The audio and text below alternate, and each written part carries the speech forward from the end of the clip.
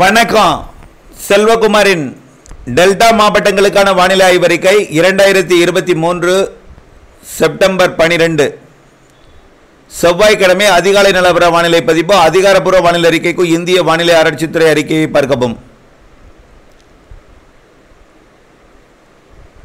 நேற்று டெல்டா மாவட்டங்களின் தெற்கு பகுதியில் நூறு சதவீதம் உறுதியாக எதிர்பார்க்கப்பட்ட மழை மேற்கிலிருந்து வெப்பமாகி அது எங்கிருந்துன்னா பாலக்காட்டு கணவாய் மட்டுமல்ல ஆரியங்காவு கணவாய் ஆரல்வாய் மொழி கணவாய் காற்று தென் மாவட்டங்களிலிருந்து வெப்பமாகி டெல்டா மாவட்டங்களில் நுழையும் பொழுது தெற்கிலிருந்து வரக்கூடிய வெப்பத்தால் லேசாகி மேலிருந்து வரக்கூடிய அந்த அதாவது ஆரியங்காவு கணவாய் ஆரல்வாய் மொழி கணவாயிலிருந்து அருப்புக்கோட்டை மற்றும் ராமநாதபுரம் அதாவது விருதுநகர் ராமநாதபுரம் சிவகங்கை மாவட்டம் புதுக்கோட்டை மாவட்டம் வழியாக வரக்கூடிய அந்த வெப்பத்தால் லேசாகி மேலிருந்து வரக்கூடியதை தெற்கு காற்று சந்திப்பை ஏற்படுத்தி குளிர்வித்து வெப்பசலன அடிப்படையை ஏற்படுத்தும் என்று எதிர்பார்க்கப்பட்ட நிலையில் அது வந்து சேர்வதற்குள்ளேயே கடலோர மாவட்டங்களில் டெல்டா மாவட்டங்களில் குறிப்பாக டெல்டா மற்றும் தென்கடலோர பகுதிகளில் குளிர்ந்த காற்று சில நிமிட சில மணிகளுக்கு முன்பே நுழைந்து விட்ட காரணத்தினால அந்த வெப்பத்த லேசான காற்று இங்கே வரவில்லை. தரைப்பகுதி குளிர்ந்தது. அது திருச்சி மற்றும் அரியலூர் பெரம்பலூர் மாவட்டம் வழியாக நேரடியாக கள்ளக்குறிச்சி விழுப்புரம் மற்றும் கடலூர் மாவட்டத்தின் வடக்கு பகுதியை நோக்கி விலகி போயுள்ளது. இப்படித்தான் இந்த வரக்கூடிய இந்த இப்பொழுது இருக்கக்கூடிய ஒடிசா மற்றும் டெல்லி இடைப்பட்ட பகுதியில் நீடித்து கொண்டிருக்கக்கூடிய காற்று சுழற்சியும் புதிதாக வங்கக்கடலில் உருவாகி இருக்கக்கூடிய காற்று சுழற்சியும் ஒன்றிணைந்து புதிய சுழற்சியை புதிய தாழ்வு பகுதியை வரக்கூடிய பதினாலாம் தேதிக்குள் வங்கக்கடலின் ஒடிசா மற்றும் ஆந்திர பிரதேசத்தின் வடக்கு பகுதியில் ஏற்படுத்த இருக்கிற நிலையில் இது பரந்து விரிந்த இரண்டு சுழற்சிகள் இணைவ இணைவதன் காரணமாகவும் காற்றோட அதாவது காற்று சுழற்சியோட மையம் குவிதல் எல்லாமே மா அதாவது ஒரு நெ- ஒரு ஒரு தாழ்வு பகுதியானால் கூட சரியாக இந்த இடத்துல நகரும் இப்படி நகரும்னு ஒரு துல்லியமாக சொல்ல முடியும். வளிமண்டல சுழற்சி என்பது ஒரு இடத்துல நிலை பெறாது காற்றோட ஈர்ப்பை வந்து ஒரே தொடர்ச்சியாக ஒரே மாதிரியாக எதிர்பார்த்த மாதிரியே தொடர்ந்து ஈர்த்து கொண்டு இருக்காது. அவ்வப்பொழுது இதனுடைய அமைப்பை மாற்றி அமைத்து கொண்டே இருக்கும். அதன் அடிப்படையில் வரக்கூடிய ஒரு வாரத்துக்கு இந்த நிகழ்வு மும்பை போகிற வரைக்கும். புதிதாக உருவாகக்கூடிய நிகழ்வு ஒடிசா மற்றும் வடக்கு ஆந்திர பிரதேசம் தெற்கு ஒடிசா மற்றும் வடக்கு ஆந்திர பிரதேசம் தெலுங்கானா வழியாக சத்தீஸ்கரின் தெற்கு பகுதி வழியாக மகாராஷ்டிராவின் கிழக்கு பகுதியிலிருந்து மத்திய பகுதி வழியாக மகாராஷ்டிரா கடலோர பகுதிகளுக்கு சென்று கோவா மற்றும் குஜராத் இடைப்பட்ட சூரத் மற்றும் மும்பை டயுடாமன் உள்ளிட்ட பகுதிகளுக்கெல்லாம் அதிக மழைப்பொழிவை கொடுத்து அரபிக்கடலில் இறங்கி மேற்கு நோக்கி பயணிக்க இருக்கிற வரைக்கும் இந்த நிலையற்ற தன்மை நிலையற்ற தன்மைனா சரியாக ஒரு இடத்துல இந்த இடத்துல மழை பெய்யும் அப்படின்னு நம்ம கணிக்கும் கணிக்கும் பொழுது இடம் மாறுவதற்கான வாய்ப்பு அதிகம் இருக்கிறது. நிலையற்ற தன்மை நீடிக்கும்.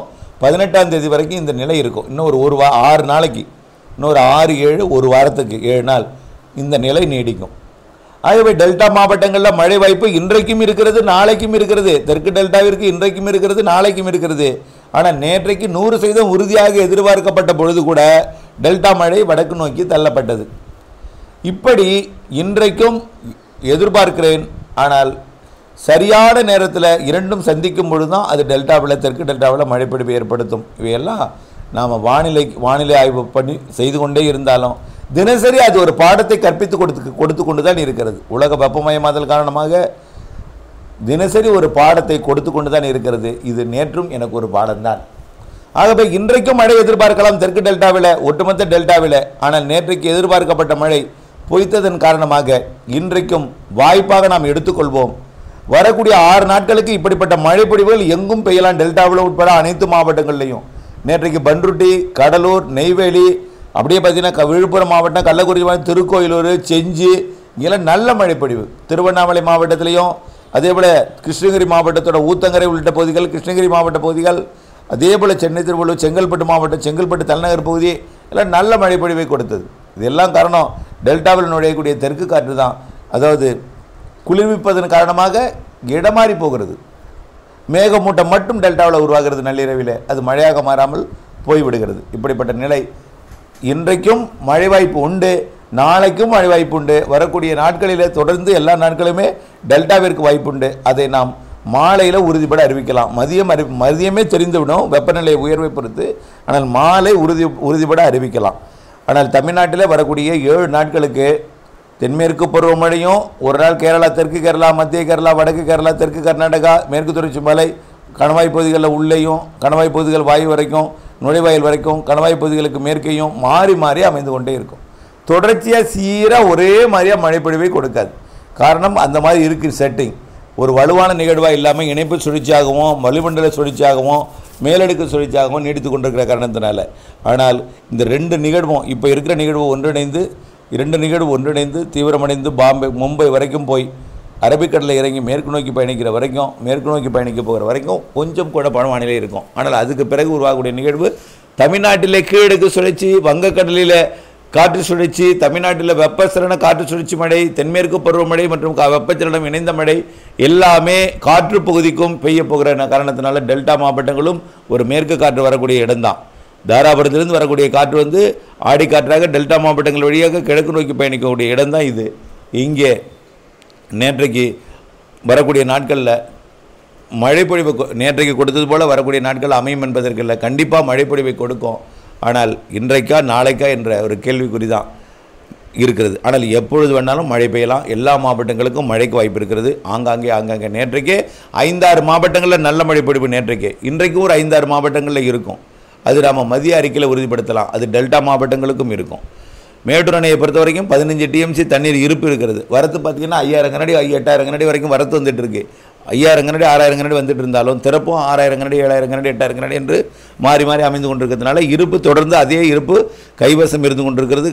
இன்னும் பெரிய அளவிலே பிரச்சனை ஏற்படுத்தாவிட்டாலும் திறக்கப்பட்டால் பதினஞ்சு நாளைக்கு தான் தண்ணி. ஆனால் ஏதோ நமக்கு வரத்து கொஞ்சம் கை கொடுக்கிற காரணத்தினால பெரிய அளவிலே உடனடியாக பிரச்சனை ஏற்படுத்தவில்லை என்பதுதான் நம்ம மகிழ்ச்சியான ஒரு தகவலாக இருக்கிறது. ஆனால் தென்மேற்கு பருவமழையும் இருக்கிறது. தமிழ்நாட்டில் அதை விட கூடுதல் வெப்பச்சலன மழை இருக்கிறது. இந்த மாதம் இருபதாம் தேதியிலேருந்து தமிழ்நாட்டில் அனைத்து மாவட்டங்களுக்கும் டெல்டா மாவட்டங்களுக்கும் இந்த மாத இறுதி பத்து நாள் பதினெட்டாம் தேதிக்கு மேலே வரக்கூடியது. இருபதாம் தேதியிலிருந்து தீவிரமடைந்து இருபத்தி மூணு இருபத்தி நாலு இருபத்தஞ்சுனா நல்ல மழை பொழிவை தமிழ்நாட்டில் கொடுக்க இருக்கிறது. அதோட க அதோட நம்பிக்கை ஊட்டும் படம்னா இதோட இணைத்திருக்கிறேன். இது நம்ம நீண்டகால அறிக்கையில் சொல்லப்பட்டது தான் உங்களுக்கு நம்பிக்கை வர வேண்டும் என்பதற்காக படத்தை இணைத்திருக்கிறேன். ஆகவே கண்டிப்பாக நம்பிக்கையுடன் இருங்கள் வெப்பச்சலன காற்று சுழற்சி மழை வெப்பச்சலன தென்மேற்கு பருவமழை எல்லாம் இணைந்த மழைப்பொழிவு. இந்த மாத இறுதி பத்து நாள் நல்ல மழைப்பொழிவு இருக்குது அடுத்த மாதம் இருக்குது எல்லா மாவட்டங்களுக்குமே இருக்குது என்பது தெரிந்து கொள்ளுங்கள். அக்டோபர் மாதம் இருபதாம் தேதி வரைக்கும் தென்மேற்கு பருவமழை இருக்கிறது. இந்த நேரத்தில் புரட்டாசியில் நல்ல ஒரு வெப்பச்சலன மழைப்பொழிவை டெல்டா மாவட்டங்கள் உட்பட கொடுக்கிறது. நீரை எதிர்பார்க்காமல் கூட காவிரி நீரை எதிர்பார்க்காமல் கூட இந்த எதிர்பார்க்காத அளவிற்கு கூட மழைப்பொழிவு இருக்கிறது என்பதையும் நான் தெரியப்படுத்த விரும்புகிறேன். ஆகவே தொடர்ந்து வானிலையில் கூட இணைந்திருந்து அறிந்திருந்து கூர்ந்தறிந்து புரிந்து விலகி திட்டமிட்ட பலன்மை செய்ய அன்போடு கேட்டுக்கொள்கிறேன். நன்றி.